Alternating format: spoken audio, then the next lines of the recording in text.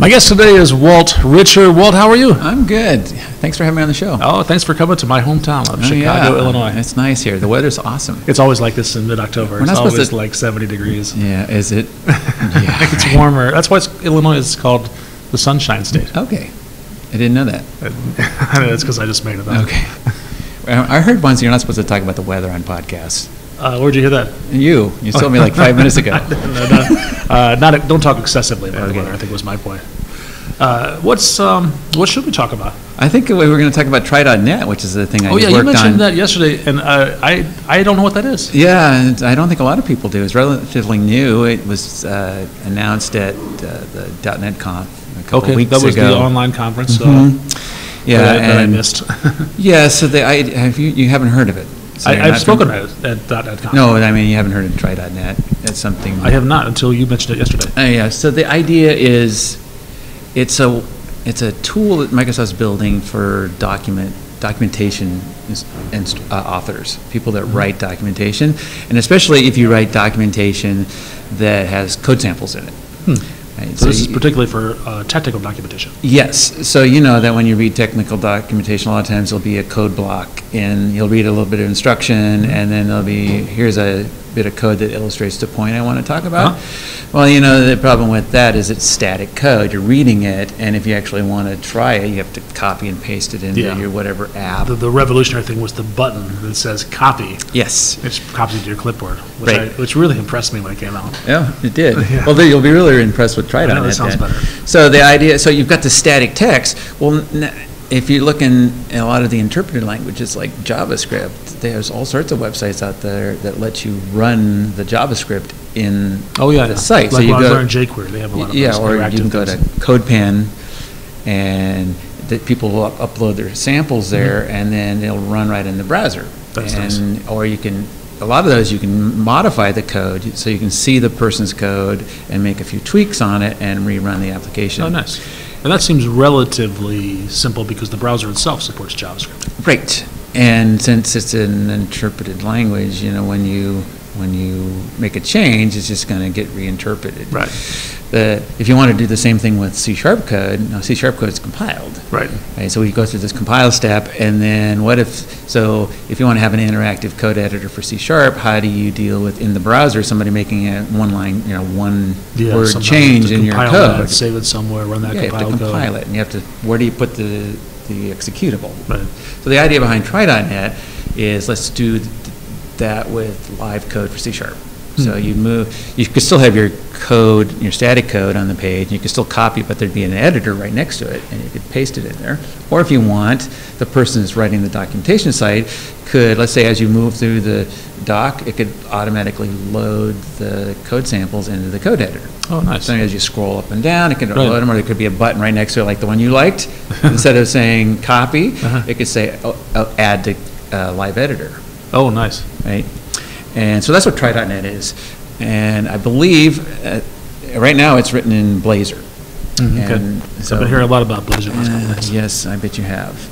Uh, So that, so the benefit of Blazor is that it lets you run a binary in the browser. So if you, can if you can compile code to the um, WebAssembly specification, Mhm. then you can load that into the browser, and the browser can run it natively. It's going to be fast. And so what I think Microsoft's done, I don't know because I haven't seen the code, but I'm- what I suspect is they've done is that when you write your code and- and put it in the editor, Mhm. and then you click the run button, it's running the- off this WebAssembly. And then if you edit it, right, they just recompile it Mhm. back into the WebAssembly and then run it again. Interesting. Uh, So does this only work with .NET code? Yes. Okay. And it has C-sharp or VB or F-sharp or? So far, it's only C-sharp. There's Okay. plans for both F-sharp. I think there's plans for VB, I don't remember. Uh, And it also only works with .NET Core 3, Hmm, Okay. right? So what I, I did a course on this for LinkedIn Learning Ah, uh, that was uh, released uh, at the same time as the .NET Conf. okay. Wha- What's the name of the course? It's uh, tried, um, something like Learning Try.net. Okay. It's a 30-minute course, and the- what I talk about in that course is how do you, if you're the document creator, the person that's writing the documentation, well, how do you do this? It's, it's pretty easy to understand how to use it. As, from a user perspective, you type some code in, you press the run button. If the code doesn't compile, you're going to get an error in the browser. Right. But how do you, as the document person, the person that's writing I the want to build that into my documentation. yeah, so you get a list of code and a bunch of text that you're supposed to put on the page. Okay. How do you take that code and make it show up in the editor? How do you? You know, you, um, it's pretty easily, actually. You, um, you have to install a couple pieces of software on your computer um, from the Try.net team. Mm-hmm. Okay. And one of them is the runtime that lets you try it out on your developer computer without Mm-hmm. having to create a website. Okay. And then one of them is also a set of templates, so you can start with a pre-built Try.net uh, project. So you can see what it should, what it looks like in a, Yeah, so it's like a hello world for Yeah, Try.net, okay. right? So you say, create, create new project, and then it just does the thing. But basically, the basic thing is, The- what editor, do you- editor do you use? Or does it matter? you can use uh, VS Code or Visual Studio. It's just text that we're going to be. It's just a text file, right? Okay. So if you want to use a text editor, that would work too. Mm-hmm. And so there's two parts to make it work. There's a, there's a markup, doc- uh, markdown document. That's That's where you write your documentation. right. Okay. So you write the text, the explainer, you know, any images that you want, and then a chunk of code, Mhm. okay? Static code. And then you also write that real, that same code in a real application. It could be a console application or whatever type of app you want. And you make sure that works and compiles. And then you go in and you mark, there's two things you have to do. You mark your code with basically a beginning and ending block. You use a region. Mm-hmm. You put in a region, you say, this is the section of code that I want to show in the Reasons are back. They I haven't are. used them for years. yeah, this is one good use of them, I think. I know a lot of developers don't like them. Uh, People abuse them, I think. Yes. Kind of like the people that talk about the weather for too long. So you have, you basically put a region here saying, this is the start of where I want the code to appear, and here's the region, end region where I want the code to end. Now, you can have more code in front of that and Okay. behind it, You like if there's, set up and like clean setup that you don't want to show because it's not important for that demo, Ah, okay, I see. right? But it still gets run. It still gets run every time they execute the, Right. the block invisibly behind the scenes. Right. The wizard runs the, Right, so you're setting up a connection to a database or whatever other Yeah. things you need to do, that can be done in the hidden code. got it. So you put the, uh, what did just say? You put regions around that, okay? Then over in your markdown file, Uh-huh. you take your, what normally looks like a static section of code, Okay. and you you use what's called a code fence. So that's typically how I'd mark down These how you do. tags. They're, uh, it's like three backticks. Oh, yeah, I've seen that, yeah. Yeah, so you put three backticks in, and then you put the language that you're gonna show, so it knows how to. Yeah, I did, I didn't know that had a name. What is it called? the- the three Code, code fence. Code fence, I didn't know that was called that. Okay, but I have used that. And then it's like you do tick, tick, tick, CS. Yep. That'd be for C sharp. Okay. Okay. And normally that would just show a block of text in the browser. Yeah, and it- I think it does some formatting, so it Right. looks. It looks like C sharp or F sharp or whatever. So that works. And then what you do is there's some extra parameters now that you pass in on the code fence. Hmm. So instead of saying tick, tick, tick, CS, it has several other parameters. One of them is Point to the assembly for the where's the project? project you just created. Yeah, where's the, and what's the name of the, you can probably figure this out, what's the name of the, What, the executable? the, uh, you need the, ex- we need to know the class that it's in, Oh, okay. and you also need to know the name of the, the uh, method- region. Region. What did you tell the region? Because you could have more than one region in the same Oh, okay. block of code. That would make sense. Right, so I could have three regions, and I, Show, show each one a different, one exactly. Yeah. And that's it. That's really That's- all it is. is So you do your markdown, you do your code, make sure your code works, you tell it where to find the code, and then you, of course, publish it eventually to the web. Okay, so you're gonna publish the markdown, and you're gonna publish, uh, maybe a folder with, uh, Right. with all your binaries. Right.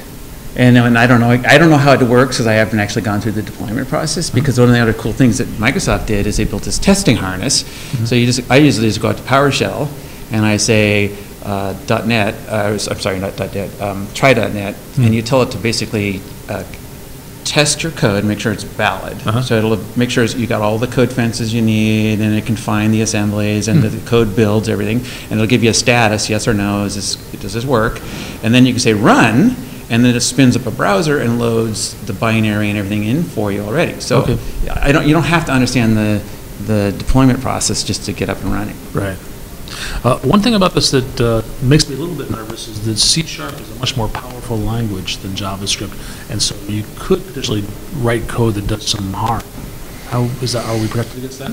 I don't know the answer to that. So you're like saying, could we somehow ex- basically, ex- well, isn't the WASM, the uh, WebAssembly is running in a sandbox? Oh, so that's what protects you from anything outside of the browser. Yeah, I thought you were going a different place with this question, which is uh, .NET can do so much.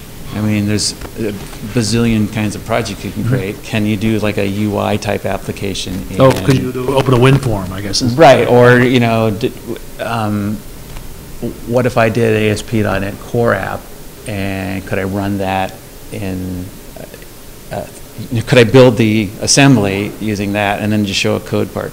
And I don't know if that's true, but I have tried it with o- other non-console, all the, the demos I did for my course were all console applications. Makes a lot of sense. Simple, and you only want to, really the simplest type of application. Right, but on the other hand, think about it if you're doing, what if you're doing, uh, if you're the ASP.NET team and you want to show how to do the C-sharp code that's specific to a controller or something like that, you still need a controller, right? That's true. Uh, Or what if, um, what was I just thinking? What's that? your next course. Could be. Could be. I had another, uh, I was going somewhere else, but I forgot what it was. Um, That's pretty cool. So now, now how do I get this? Is this something I I download, or is it a, uh, is it part of Visual Studio? Yeah, all you need to go, just search for try, it's T-R-Y, uh, dot N-E-T. One word. Try NET, and that's, um, Dot- Try dot net. try dot net, Yeah, okay. And if you go there, there's some documentation that tells you how to get started, what, what the three or four things you need to install. Okay, so things I need to install locally on my computer Right. that even, I probably would need dot .NET Core, of course, Right. as well. Is this uh, uh, .NET Core 3? Mm-hmm, Only .NET Core 3? yes. Okay. Awesome. Uh, Where are you speaking next? I'm speaking here. at- Tomorrow. Uh, yeah, I'm in Chicago, I'm at uh, VS Live. Okay. So I just did a talk. By the time they see this, that this will, I just did a talk. already happened. Yeah, yeah, by the time this airs. Yeah. And I'm doing some talks tomorrow on, it's all UI stuff. I'm talking about, um, one of the new, other new things I think is pretty cool that's, that's interesting from a programmer's perspective, but it's not really programming, is the new Power Apps. Microsoft's doing, have you done anything with that? I have done with Power Apps. My son actually had a job where he was doing a lot of Power Apps. Oh, yeah. And so I was trying to help him that? out. Uh, It was okay. Um, Power Apps are uh, really nice if you have something simple to do. You can get up and running in a hurry. I mean, we got, like, what, I forgot, I forget the name of all the technology we have to do this, but is it Infoforms or something that? In, you know, InfoPath. Infopath did uh, similar to that, only only a little more powerful than that. Um, But when you start to get really complex, then it's probably, my feeling is that maybe we should move away from Power Apps and build an actual application in a I more agree with robust that. framework. I agree with And that, so but. his employer was having him do really robust things. Yeah, I, I think the, the target audience for Power Apps is something, Microsoft, I don't know if they coined this term, but I just heard it last year, called citizen developers.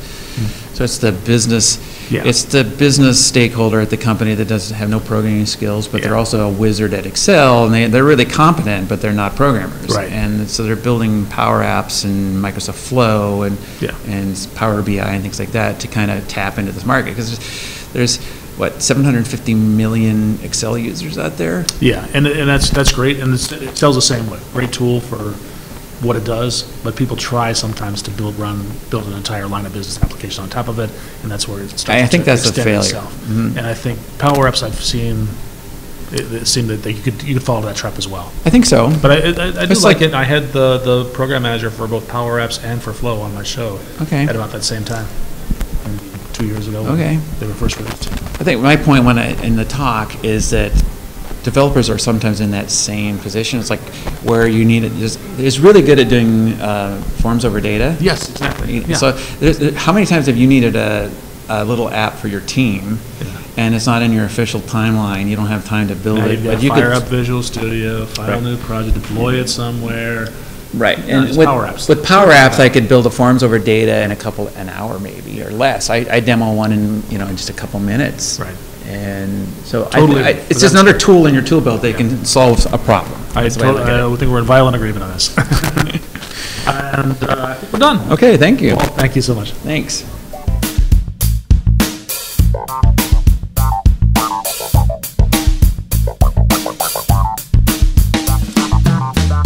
One of my favorite things to do is go to conferences where I can get as much technology as I can and meet with the friends that I only see at conferences.